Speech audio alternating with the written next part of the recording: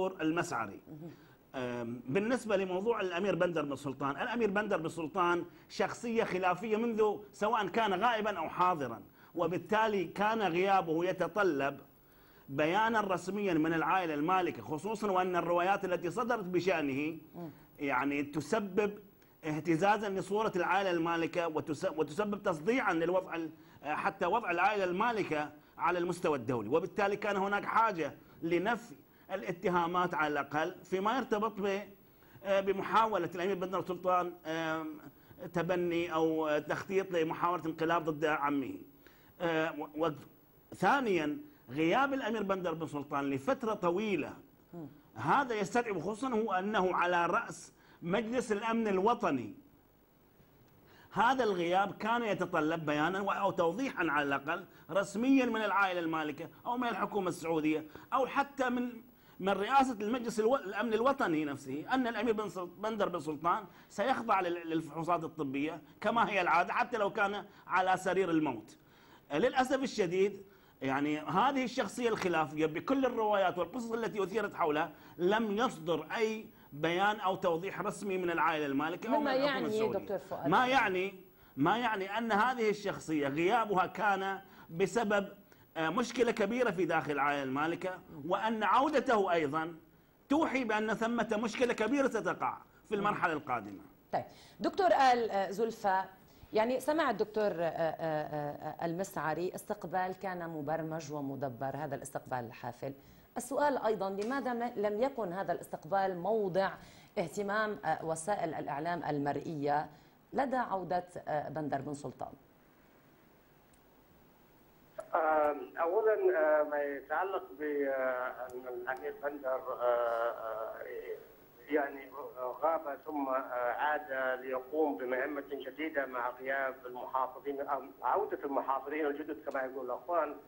المملكة العربية السعودية لها سياسات ثابتة لا تتغير بحضور أشخاص أو غياب أشخاص. فالأمير بندر هو واحد من الفريق الذين يعملون في داخل هذه المنظومة المتكاملة لرسم السياسات العامة. وأعتقد أن الأمير بندر وهذا الواقع الصحيح إنه كان مريضا بألم شديد في ظهره أجريت له أربع عمليات. آه ذهب إلى المغرب للنقاهة لفترة معينة. آه آه زال عنه زال عنه المرض عاد مرة أخرى استقبله زملاء الذين في سلاح الجو معهم ابتداء من الأمير مقدن وانتهاء بالامير عبد العزيز بن عبد الله اذا القضية ما لها ما لها علاقة مع التفسيرات والكلام الطويل معقول إن الأمير بندر بيدبر انقلاب على عمه وعلى وعلى وعلى أسرته الحاكمة انقلاب اللي يكون لصالح من؟ هل الأمير بندر ما هي القاعدة الشعبية الرهيبة التي يملكها الأمير بندر علشان يقوم بإنقلاب؟ هل هو قائد للجيش؟ هل هو قائد للحرس الوطني؟ هل هو قائد لقوات الأمن الداخلي ولا لغيره؟ ما يعني وهذا لا يصدقه عقل يعني بما يتعلق بالقيام بالانقلاب ثم هروبه ثم تنكره ثم وجوده في سوريا ثم عودته الغامضة، أما ما يتعلق بالإعلام لماذا لم يسلط الضوء على عودته؟ أنا أعتقد إنه الرجل كان يتعالج. عاد مرة أخرى استقبله أصدقائي هو يعيش عيشة طبيعية في بيته. عاد إلى عمله معافى لماذا لماذا يجعل حول عودته هيلمان وكلام طويل وإعلام إلى آخره؟ طيب دكتور المسعري يعني تحدثت منذ قليل عن مؤشرات هذه العودة ومؤشرات الغياب وتحدثت عن سيناريو له علاقة بالإقامة الجبرية. في سوريا. طبعا هناك مؤشرات كثيرة عودة العلاقات السورية السعودية إلى طبيعتها وأيضا عودة العلاقات الأمريكية السورية. ولكن ما يعنيه اليوم أو السؤال اليوم عودة بندر؟ هل هي عودة للصقور إلى الوجه من جديد في الرياض؟ وذلك بعد عودة المحافظين في ظل الانتخابات التشريعية في منتصف الولاية في الولايات المتحدة خصوصا بعد فشل المفاوضات التسوية في المنطقة. أعتقد مساله عوده الصقور في الرياض. ما في الرياض صقور ولا حمائم في آل سعود، في عند آل سعود سياسة صحيح دكتور زلفه مصيبة يكون لها سياسة ثابتة، والسياسة الثابتة هي نقطة واحدة. أو تسميها قضية مصيرية واحدة، وهي البقاء في الملك. وإبقاء الملك ملكا قرون أوسط. يكون فيه الملك مالك لكل شيء للأرض ومن عليها والبقية بمثابه العبيد، هذا هو القضية الاستراتيجية والقضية حياه أمور آل سعود. كل من يساهم في تحقيقها فهو صديق ومن ينتقد هذه فهو كانت بريطانيا هي الصديق الذي أنشأ الدولة السعودية الثالثة فهي صديق فإذا جاءت دولة أقوى وأعظم مثل أمريكا الحرب العالميه الثانية تصبح هي الدولة الصديقة والراعية والحامية وإلى آخره. هذا هو ال- ال- المذهب العام والمبدأ العام الذي يسير عليه النظام السعودي وكل ما سوى ذلك من استراتيجيات وتكتيكيات تتغير. الصقور في داخل الولايات المتحدة الأمريكية نعم لأن سياسات ب- باراك أوباما ظهر أنها بدأت تبوء بالفشل لم ينجح في العراق بل أعلن الفشل صريحا وكذلك في أفغانستان هو في طريقه إلى الفشل البين. وجميع المأزق فعاد الصقور إلى الأمام يحاولون أن يعودون إلى سياسة استخدام القوة المجردة لكن ليس بامريكيا مباشرة لأن هذا متعذر الآن وإنما طريق العملاء. ومن أقوى العملاء وأكثرهم دهاء وتمرسا بالجوانب الاستخباراتية بندر بن سلطان. ولهذا من المهم جدا أن يعود إلى الواجهة وأن يشارك مشاركة فعالة في التآمر على دول المنطقة وعلى دول العالم الأخرى، بما فيها أمريكا الجنوبية التي كان له مشاركة في التآمر عليها أيام مسألة الكونترا، فإذا عودة الرجل مؤشر خطير. هناك مؤامرات تدبر مثلا ضد ضد دول الجوار ومثلا ضد ليبيا إلى آخره، فليحذر الجميع.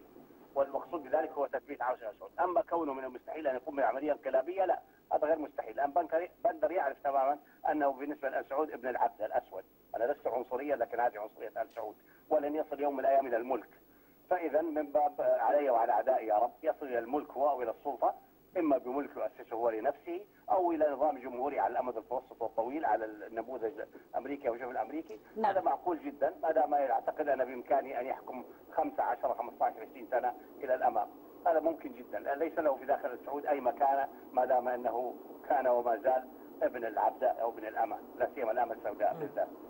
فهذا معقول جدا وليس كلام الدكتور الجلفة صحيح لأن- لأنه يعرف جيدا عنصرية السعود الداخلية ويعرف لماذا أقصي أناس من أمثال منصور قديما ومشعل حديثا إلى آخره عن مراكز القيادة. طيب لانهم أشكر- أولاد عبده. نعم. أولاد اماء لا يصلون الحكم ابدا. أشكرك عبر الهاتف من لندن الدكتور محمد المسعري الباحث السعودي. دكتور آل زلفى هل لديك أي أي تعليق يعني طبعا على ما تفضل به؟ بكل تأكيد آه، المشعري دائما عنده نظرة الشكوك المبنية على على مغالطات. آه، يقول أن المملكة العربية السعودية قامت آه، بمساعدة قوى أجنبية لكي تخ- تخدم هذه الأهداف في هذه المنطقة. وينسى الدكتور المسعري أن الأسرة السعودية وقيامها للدولة م- مضى عليه أكثر من 350 سنة من أقدم الأسر الحاكمة في العالم. نابعة من وبان- وبنت مجدها بمساعدة شعبها. ليس بمساعدة أحد آخر مهما كانت الظروف. هذه دعايات وهذه مغالطات وهذا نقص في فهم المشعري للتاريخ آه، هذه البلاد. المسألة الأخرى أن الأمير آه، يعني هنا الإشكال ال- ال- العنصري الذي ينطلق من الأخ المشعري أنه ابن العبدة السوداء وأنه كذا. أنا آه، أنا آه، أتمنى أن يترفع الأخ المشعري عن مثل هذا الكلام. أعتقد أن الكفاءة هي التي تمكن الإنسان. الأمير بندر كفاءة. واستطاع أن يخدم بلده على مدى آه، أكثر من ثلاثة عقود من الزمن. آه، لكن لا أعتقد أن الأسرة الحاكمة ولا المواطنين السعوديين أنهم فقراء في الرؤية ولا في السياسة ولا في التطلع في التعامل مع الأحداث سواء المحلية أو الدولية في غياب فرد من الأفراد. آه، الأمير بندر قام بدوره نعم ولكن كل ما يقال من هالكلام الذي يردده أو الروايات التي عددها الأخ فؤاد طيب. إبراهيم وهو طبعا يقولها روايات والروايات روايات لا لا لا يمكن يعتمد عليها إلا إلا بال- بالحقائق والإثبات هذا. ولذا أنا أعتقد أن غياب الأمير بندر أمر طبيعي. عودته أمر طبيعي طيب. عودته إلى عمل أمر طبيعي. طيب. الأمور مستتبة وال- دكتور دكتور زلفى اسمح لي بما تبقى طبعا من وقت. دكتور إبراهيم قلت بأن ثمة دور آه، سيلعبه آه، بندر بن سلطان بطلب من الأمريكيين انعكاس هذا الدور على المملكة وصن- وصنع القرار السعودي الداخلي والخارجي. طبعا في ظل آه، ما يجري اليوم في المنطقة. آه، سيدتي دعيني آه، أوضح نقطة نقطة بسيطة جدا فيما يرتبط بشخصية الأمير بندر بن سلطان. الأمير بندر بن سلطان هو شخصية عادية إعلاميا ولكنه أمريكيا هو شخصية ذهبية مارس خلال ثلاثة عقود منذ عام 1980 وحتى وحتى غيابه مارس أكبر الأدوار أهمية وخطورة في في منطقة الشرق الأوسط بل في العالم.